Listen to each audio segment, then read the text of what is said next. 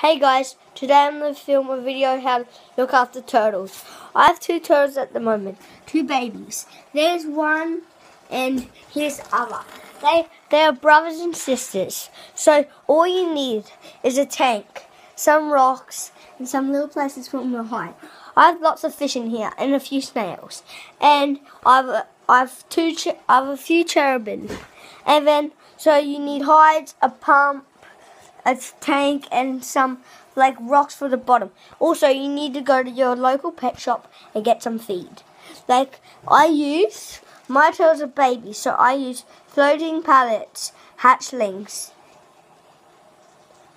and and I you'll need a net, a light to clean stuff up. And you'll need a filter so it doesn't get too dirty if you have fish in there. But usually they can survive maybe for a few weeks or months.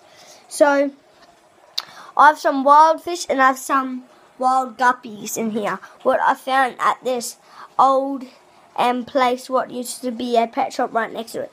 And they let go all their guppies here. So there's lots of guppies. Look, look at that one. That one lost his tail. So that's sad. From all the others biting on it. He, these guppies, however, they get sometimes get eaten by the wild gudgeons.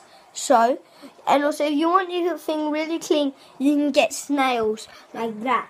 And here's one of my cherabins at the back underneath that log. Also, you need a floaty, something to float on so the things can sit on, so they can light on it. And a UV light. Bye guys, thanks for watching. Make sure you subscribe. My sister's link will be down below in the description.